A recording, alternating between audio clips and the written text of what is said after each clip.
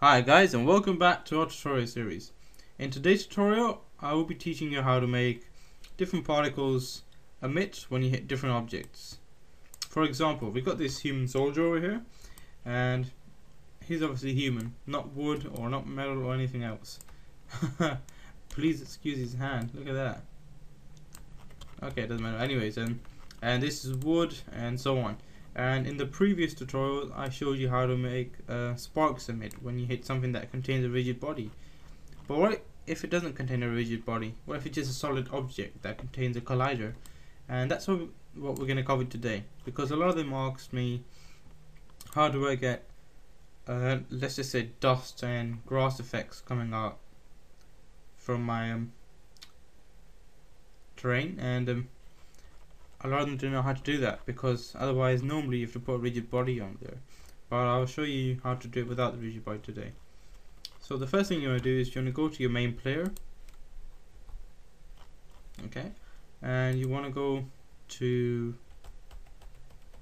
your Rayshoot script so I'm just going to open that quickly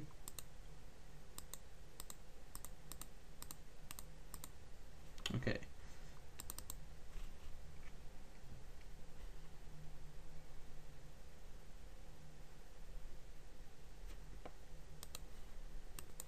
Okay, my MonoDevelop's open.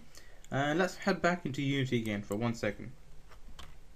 Uh, find any object you want. I'm just going to use this soldier because I'm going to emit blood effects. So if I go right next to him, I just want to make sure he's tagged correctly. At the moment, you can see I name uh, tagged him enemy, so I'm going to change that. I'm going to delete the enemy tags and do it from scratch. So enemy, delete, enter, enemy, delete. Okay, so we want to name this guy enemy. So we create a new tag and we call it enemy. Oh, no caps, sorry. Okay, uh, click on him and define him as enemy. And he also needs a collider. Now, it, don't use a box collider, I wouldn't recommend that. Uh, click on components, physics, and then click on character controller. And it's going to ask you, already contains a mesh collider and just say add, don't replace it. And there you go, it made a perfect um, character controller around the soldier. Now I can change the radius myself if I wanted to, just make it a bit more bigger, the height a bit more big, and take it down a bit. There we go. So now if my ray shoot, uh, if my ray end of my ray hits this collider, it's gonna um, emit the blood effect. So let's do that next.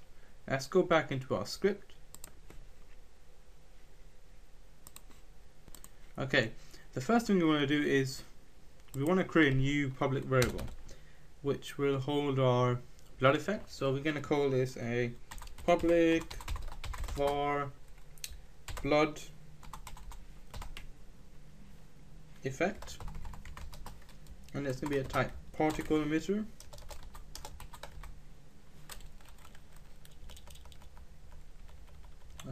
see particle animator. There we go particle emitter. Close that. Now we want to go to our start function and we want to disable the blood particle when the game starts. So blood blood effect dot emit equals false. Okay now you want to go to your ray shoot function which is over here and you have three closing brackets here underneath the second one make a space and you're going to start off the new if statement we're going to say if open bracket hit so if our ray point hits what this time? A collider, not a uh, rigid body. So if hit dot collider dot game object dot tag. Now I'm going to test you guys. If you think that's correct, it's wrong because it won't work. Basically, you need to compare the tag. So Unity has to go through the whole system of tags and see if it finds anything that exists with enemy.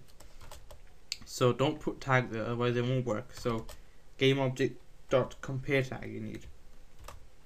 That's the one. And you're gonna put an open bracket.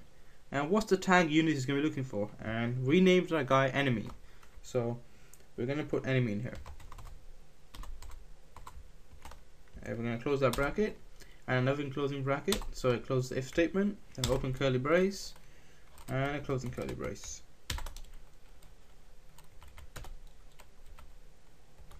Now we're going to say if open bracket blood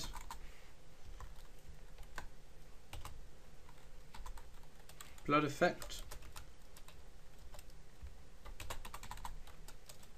What is going on?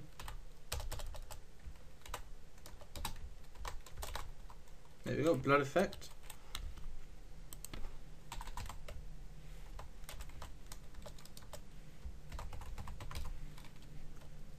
Okay, so we're going to check if this is true, I mean false. So if it's emit is set to false, we want to enable it. So we're going to say hit uh, blood effect dot transform dot position position is equals to hit point so we're basically saying it's gonna pop out from the end of our raycast hit point. Okay. And then we want to say blood effect dot transform dot local rotation if I can find it there we go equals a quaternion dot from to rotation open bracket vector free dot forward comma hit dot normal.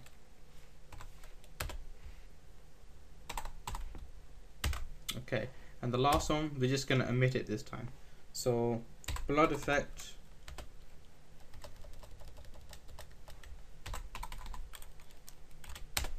dot emit. Now you want to select the emit with the purple cube next to it and it starts with a capital E and then open bracket and close bracket. So we basically said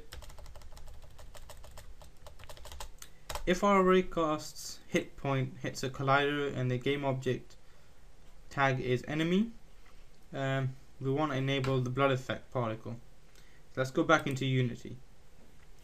Now what you want to do is just get a blood effect particle. If you haven't, I will upload it to the website so you can download it. And you want to attach that to your player's muzzle flash. Just drag it into there. So I'm going to quickly drag it onto that. Blood effect. Or should blood spat splat if I named it correctly. Yes, I think so.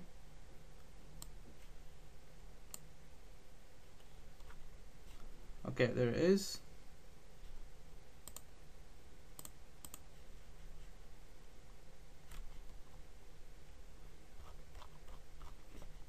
Mm-hmm.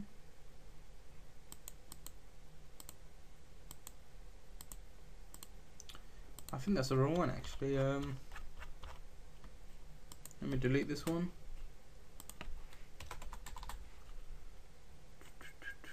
What did I name it? Blood what?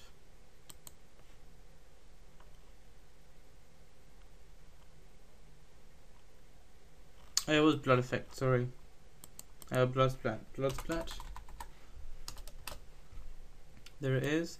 I'm going to drag this into my muzzle flash holder. And there it is. Then click on the player's rayshoot script. And there should be an open variable called blood effect. Now in there you want to drag the drops and also the main. So let's go back into a mono develop again. let's add one more variable and let's just call this one public var blood effect main and this can be a particle emitter as well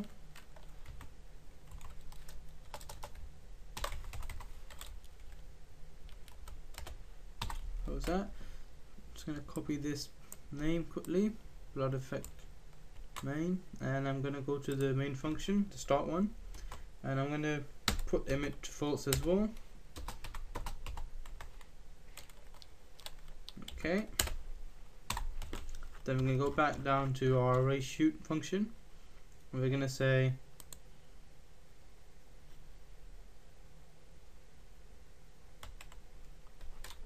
if open bracket blood effect main.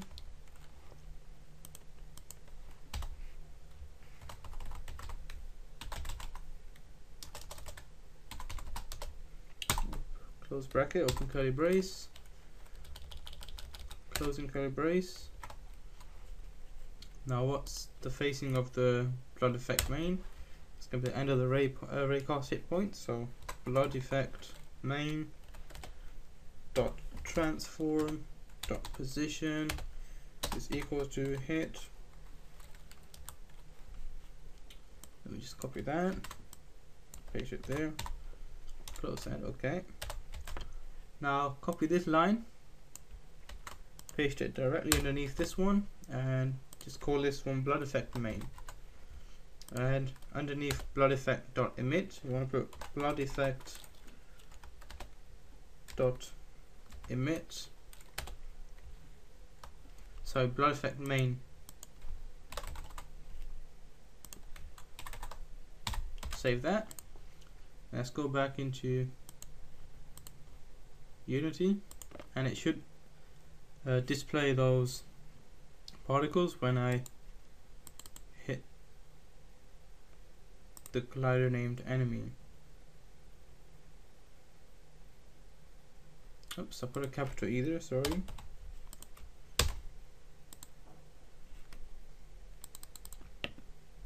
There we go. No errors. Let's run this and give it a shot. Oh, before we do, make sure you attach the main blood particle to the blood effect main as well. save that.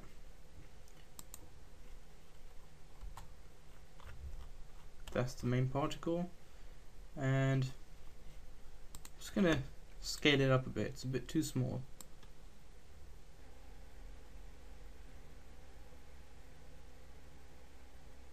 Uh, for now that'll be okay. Just a test anyways.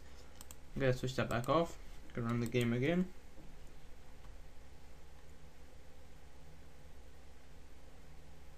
Gonna go to this guy and hopefully when I shoot him you should be able to see the blood There you go.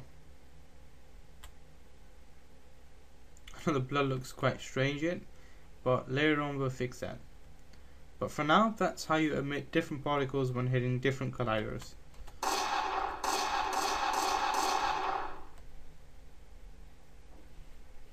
Okay. As always, thanks for watching guys. Don't forget to rate, comment and subscribe. And I will see you soon.